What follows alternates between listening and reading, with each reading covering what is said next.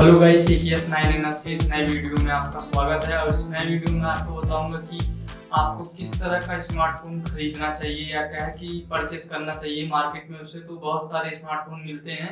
लेकिन इस वीडियो में आपको बताऊँगा आपको किस तरह का स्मार्टफ़ोन परचेस करना चाहिए, कि पाँच हज़ार का या दस हज़ार का या पंद्रह हज़ार का या बीस हज़ार का या उससे भी ज़्यादा। तो इस वीडियो में आपको यही बताऊँगा। वीडियो शुरू करने से पहले चैनल को अभी तक सब्सक्राइब नहीं किया है तो नीचे आपको रेड कलर का बटन देखने को मिलेगा। उसे क्लिक करके प्लीज़ सब्सक्राइब कर लेना, क्योंकि सब्सक्राइब करने से कुछ खास नहीं होता। तो प्लीज़ सब्सक्राइब कर लेना और साथ ही साथ अगर आपको वीडियो अच्छा लगता है तो लाइक कर देना। और साथ ही साथ यह वीडियो अपने किसी भी फ्रेंड के साथ शेयर कर देना। तो मैं आपको आगे बता रहा हूँ। तो सबसे पहले आपको कोई भी मोबाइल फ़ोन या परचेस करने के लिए सबसे पहले आपको एक बजट सेव करना होता है। मतलब कि आपको स्मार्टफ़ोन कितने रेंज में चाहिए? मतलब कि पाँच हज़ार तक रेंज में चाहिए, दस हज़ार तक रेंज में चाहिए, पंद्रह हज़ार या बीस हज़ार या उससे भी ज़्यादा। जैसे कि अगर आप पाँच हज़ार तक का स्मार्टफ़ोन कोई भी खरीदते हैं तो आपको पाँच हज़ार तक का भी स्मार्टफ़ोन मिल जाएगा चार चौसठ स्पेसिफिकेशन के साथ। लेकिन वो स्मार्टफ़ोन ज़्यादा मार्केट में चलता नहीं, जैसे कि आई काल का। आई काल का आपको लगभग स्मार्टफ़ोन पड़ेगा छह हज़ार के अंडर। इसका स्मार्टफ़ोन आपको पड़ेगा जो इसका स्पेसिफिकेशन है चार जीबी रैम और चौसठ जीबी इंटरनल लेकिन यह स्मार्टफ़ोन मार्केट में उतना चलता नहीं। जैसे कि अगर आप रेडमी का स्मार्टफ़ोन परचेस करते हैं, सात हज़ार या छह हज़ार की अंडर प्राइस में तो यह स्मार्टफ़ोन आपको लगभग मार्केट में काफ़ी ज़्यादा लोग इसका यूज़ करते हैं और लोग इसको चलाते भी हैं। और वैसे भी रेडमी का स्मार्टफ़ोन काफ़ी बढ़िया होता है, लेकिन अगर आप, अगर दस हज़ार की प्राइस में कोई भी स्मार्टफ़ोन परचेस कर रहे हैं अगर उसका रैम दो जीबी है और इंटरनल स्पेस सोलह जीबी या बत्तीस जीबी है तो वो स्मार्टफ़ोन लेने का कोई मतलब नहीं, क्योंकि आजकल के ऐसे सॉफ्टवेयर लगभग काफ़ी बड़े बड़े होते हैं, जैसे कि डेढ़ सौ एम बी दो सौ एम बी तीन सौ एम बी चार सौ एम बी तो मोबाइल लगभग ज़्यादातर हैंग ही होता है। तो दो जीबी अगर रैम का और बत्तीस जीबी इंटरनल का लेते हैं, कोई भी मोबाइल फ़ोन वह मोबाइल फ़ोन उतना नहीं चलता। और साथ ही साथ कैमरा की क्वालिटी जैसे कि अगर आप कोई भी मोबाइल लेते हैं, जैसे कि दस हज़ार की प्राइस में तो उसका कैमरा का प्राइस लगभग आपको तेरह मेगापिक्सल का देखने के मिलेगा। और साथ ही साथ उसमें आपको जो बैटरी का एमएच है, चार हज़ार से पाँच तक को देखने को मिलेगा।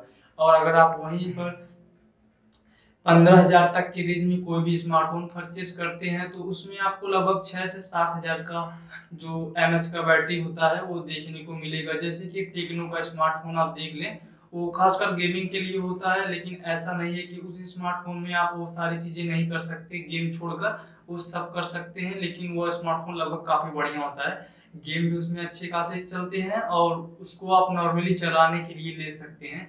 वैसे टेक्निकल मोबाइल ज़्यादातर नौ हज़ार में मिल जाएगा, दस हज़ार में मिल जाएगा, लेकिन वो चार चौसठ स्पेसिफिकेशन के लिए है। लेकिन मैं इस समय जो बता रहा हूँ, पंद्रह हज़ार की रेंज रेंज में बता रहा हूँ। तो इस रेंज में अगर आप परचेस करेंगे, जैसे कि टेक्नो का काफ़ी बढ़िया स्मार्टफ़ोन होता है तो इसमें जैसे कि बैटरी का जो एमएच ज़्यादा आपको मिलता है टेक्नो में, सात हज़ार तक एमएच मिलता है। अगर आप वहीं सैमसंग का परचेस करते हैं तो उसमें भी आपको सात हज़ार एम का बैटरी मिलता है। और उसमें काफ़ी अच्छा खासा स्पेसिफिकेशन मिलता है और वह फोर जी स्मार्टफ़ोन होता है। जैसे कि Samsung Galaxy M thirty one का स्मार्टफ़ोन आप देखेंगे तो उसमें आपको छह हज़ार एम एच का बैटरी मिलेगा। बैक साइड का जो मेगापिक्सल है कैमरा वाला, वो चौसठ मेगापिक्सल का है और जो फ्रंट का फेस वाला है, वो बत्तीस मेगापिक्सल का है। आप सोच सकते हैं, काफ़ी एचडी होगा उसमें। और उसमें छह जीबी इंटरनल रैम दे रहा है, एक सौ अट्ठाईस जीबी का स्टोरेज दे रहा है। तो वह स्मार्टफ़ोन काफ़ी बढ़िया है सैमसंग का। और गेमिंग के लिए आपको अगर टेक्नो का परचेस कर रहे हैं तो आपको उसमें जहाँ पर छह जीबी सैमसंग में मिल रहा है रैम वहाँ पर अगर आप टेक्नो का लेते हैं तो आपको वहाँ पर आठ जीबी का रैम मिलता है। और वहीं अगर आप जैसे कि बीस हज़ार के प्राइस में लेना चाहते हैं कोई भी स्मार्टफ़ोन वैसे अगर आप महँगा कोई भी स्मार्टफ़ोन ले रहे हैं तो मेरे ख्याल से आप गेमिंग के लिए ले रहे हैं। उसमें ज़्यादा ज़्यादा आपको रैम चाहिए तो उसके लिए आपको आई लेना चाहिए। आई स्मार्टफ़ोन जो काफ़ी बढ़िया है इंडिया में, काफ़ी नई ब्रांड है और काफ़ी बढ़िया भी है। यह स्मार्टफ़ोन लगभग गेमिंग के लिए मोबाइल फ़ोन काफ़ी बढ़िया बनाता है तो इसमें आपको जो बैटरी का एम एच है, सात हज़ार तक मिल जाता है और साथ ही साथ इस मोबाइल फ़ोन में काफ़ी अच्छे खासे जो स्पेसिफिकेशन होते हैं रैम होता है और रिफ्रेश रेट होता है 120 हर्ट्ज से प्लस मतलब कि अगर आप मोबाइल चला रहे हैं तो इसमें ज़्यादातर मोबाइल में हम जब गेम खेलते हैं तो धड़धड़ा कर इधर उधर टिपते रहते हैं। तो जो इसमें रिफ्रेश रेट होता है, उससे अगर हम कुछ भी क्लिक करते हैं तो मतलब इंस्टेंटली या कहे कि तुरंत काम कर जाता है, जिसमें रिफ्रेश रेट कम होता है। तो आपको लैकिंग का या कहे कि रुक रुक का मोबाइल चलता है तो वो चीज़ें लगभग ठीक नहीं होती। अगर आप बीस हज़ार के प्राइस में लेते हैं आईक्यू का स्मार्टफ़ोन तो वो भी आपके लिए लगभग काफ़ी बढ़िया होगा।